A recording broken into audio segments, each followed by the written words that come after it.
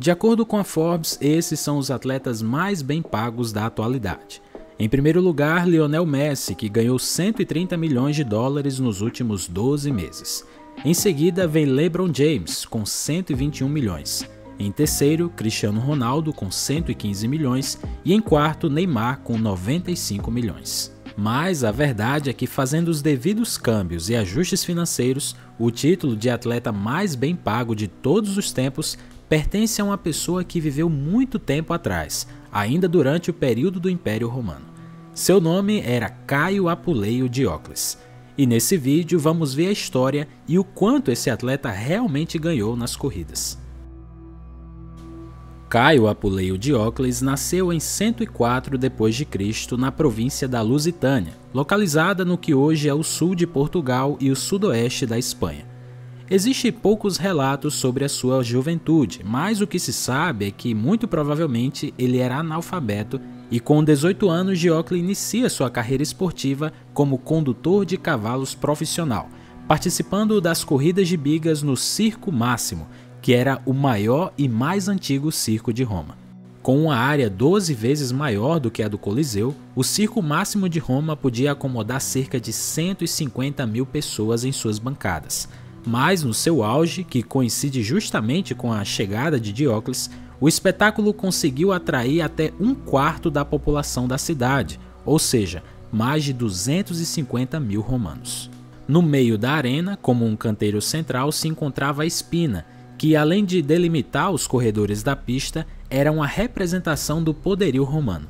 O canteiro era decorado com símbolos de algumas conquistas feitas pelo Império.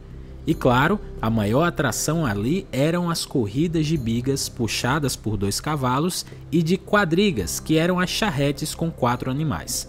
A corrida era disputada por quatro equipes: a vermelha, a branca, a azul e a verde, e valia tudo pela vitória, até mesmo esmagar o adversário. Em sua chegada a Roma aos 18 anos, o lusitano Diocles começou se alinhando na equipe dos brancos, e isso durante seis anos mas apenas no segundo ano que ele conseguiu a sua primeira vitória. Depois, ele teve uma passagem de três anos pelos Verdes e também, por último, entrou para a equipe dos Vermelhos, mas ele nunca fez parte da equipe dos Azuis. O auge de sua carreira foi entre os 22 e os 23 anos. Os acidentes eram muito frequentes nessas corridas e quase sempre fatais. Isso porque a biga não era nada segura, já que era feita de madeira ela era bem frágil e as mortes eram muito comuns. Apesar de o corredor ser o dono das rédeas e do chicote, num só segundo ele podia perder o controle da situação, perder uma roda e ser atirado contra as barreiras. Se o atleta não morresse por um acidente, ele muitas vezes morria de infecção, e isso acontecia porque os romanos usavam o tratamento das feridas dos corredores com, por exemplo, esterco de javali ou até ópio. Boa parte dos atletas estavam na mesma situação dos gladiadores. Alguns eram escravos que tentavam a sorte na arena em busca de liberdade, ou eram civis que queriam ganhar dinheiro e fama. Não há certezas com respeito a isso, mas Diocles também se encaixava nesse padrão, sendo que ele provavelmente era um cidadão de classe baixa ou até um escravo no início de sua carreira, Pode ser que, com o tempo, ele tenha conseguido ter a sua alforria, mas mesmo assim tivesse que cumprir certos deveres ou pagar dívidas que adquiriu. De qualquer forma, os ganhos teriam sido mais do que suficientes não só para torná-lo livre, mas também para qualificá-lo como membro das ordens equestres ou até mesmo senatoriais. Só que sua profissão, apesar de lhe dar status, moralmente era vista como algo vergonhoso pela elite romana. Isso porque competir abertamente por dinheiro era tido como uma vergonha, e ganhar a vida com isso piorava a situação e excluía a pessoa de muitos dos privilégios e proteções da cidadania romana e de ocupar qualquer cargo público. A mesma situação se aplicava também a atores, leiloeiros, gladiadores, açougueiros e agentes funerários.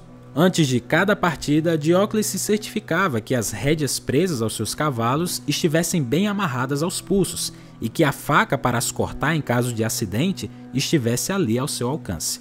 Depois dos corredores, os cavalos eram as grandes estrelas do circo máximo. No caso de Diocles, o seu cavalo de confiança e o principal da quadriga era Pompeiano. Com ele, Diocles somou 150 vitórias, das quais 100 foram apenas em um ano. Depois de 24 anos competindo, finalmente no ano 146, Diocles decide se aposentar aos 42 anos de idade.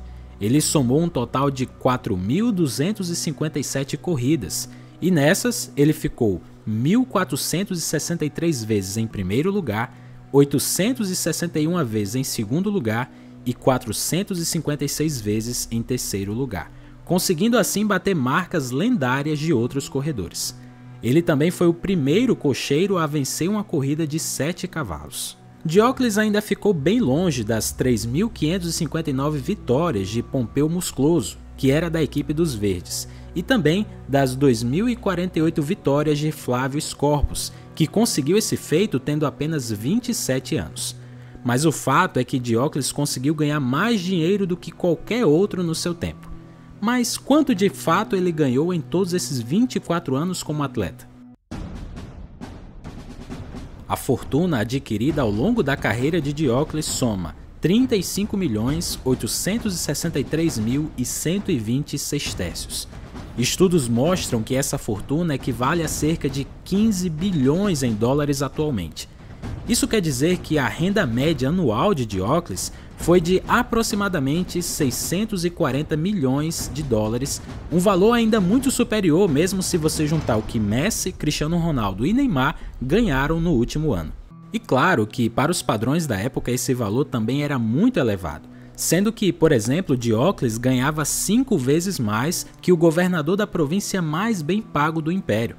Além disso, os 35 milhões de sestércios que ele ganhou como atleta seriam suficientes para abastecer todos os habitantes de Roma com cereal por um ano, ou o suficiente para pagar o salário de todos os soldados do exército romano por dois meses. E onde Diocles guardava todo esse dinheiro?